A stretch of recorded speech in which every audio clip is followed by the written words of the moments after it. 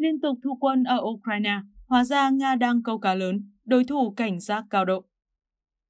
Nga đã bắt đầu rút một số lực lượng chiến đấu gần thủ đô Kiev để chuyển trọng tâm sang các khu vực khác, đánh dấu một sự thay đổi chiến lược lớn từ Điện Kremlin sau hơn 30 ngày mở chiến dịch ở Ukraine. Điều gì đằng sau sự rút lui đột ngột của Nga? Các quan chức và chuyên gia đã vạch ra một số kịch bản giải thích cho điều này.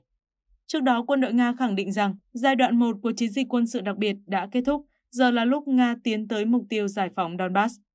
Bên cạnh sự xác nhận của giới quốc phòng Mỹ, tình báo quốc phòng Anh hồi đầu tuần cũng nhận định Nga đã tăng cường quân lực cho Donbass, bao gồm cả các chiến binh từ nước ngoài. Tình báo quốc phòng Anh cho biết một tuyên bố hôm qua rằng trên khắp Ukraine, các lực lượng Nga vẫn đang giữ các chốt chặn trong lúc tái thiết lập lực lượng. Các nhà ngoại giao Nga cho biết động thái ngừng tấn công ở Kiev là một nhánh ô lưu để chính phủ Ukraine chấm dứt giao tranh.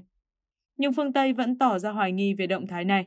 Một nguồn tin quốc tế cho rằng quân đội Nga có thể tiếp tục tấn công Kiev trong lúc các nhà ngoại giao của Điện Kremlin tìm kiếm những nhượng bộ trên bàn đàm phán.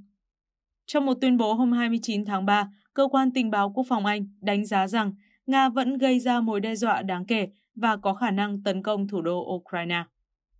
Chỉ hơn một tuần trước, một cuộc không kích của Nga vào Kiev đã san bằng một trung tâm mua sắm ở trung tâm thành phố nhờ vào tên lửa siêu vật âm tối tân, được cho là mang thông điệp gian đe mạnh mẽ. Trong cuộc điện đàm với Tổng thống Mỹ Joe Biden và một số nhà lãnh đạo châu Âu trước đó, Thủ tướng Anh Boris Johnson cảnh báo rằng hoạt động ngoại giao của Nga có thể là mưu mẹo. Những gì Tổng thống Putin đang làm là đặt nền móng cho lời giải thích rằng ông đã đạt được mục tiêu của mình. Ông ấy sẽ củng cố vị thế xung quanh Donbass để có thể có ưu thế trên bàn đàm phán. Jim Townsend, cựu phó trợ lý Bộ trưởng Quốc phòng về châu Âu và NATO dưới thời Barack Obama, nhận định với nguồn tin. Các quan chức phương Tây cho hay lực lượng Nga đã trở nên kiệt quệ hơn sau hơn một tháng chiến đấu không ngừng nghỉ ở Ukraine. Bằng cách giảm bớt áp lực ở Kiev, nơi giao tranh dữ dội đang diễn ra ở ngoại ô thủ đô, quân đội Nga có thể giấu vết thương và tăng cường thêm lực lượng, đồng thời thu hút nhiều quân phòng thủ Ukraine hướng về phía đông, khiến Kiev hở hành. Giống như nhà ảo thuật với bàn tay khéo léo, nhà ảo thuật kéo ánh nhìn của bạn qua bên tay này, nhưng tay kia lại đang làm thứ khác. Đó là tăng cường tiếp tế và tái trang bị. Townsend mô tả.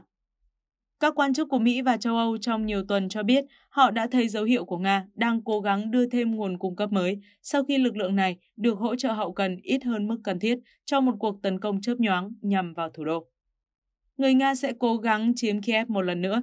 Có thể họ đang thả thính ở Donbass để xem liệu họ có thể khiến Ukraine điều động lực lượng xuống đó hay không. Cựu quan chức của Mỹ nhấn mạnh.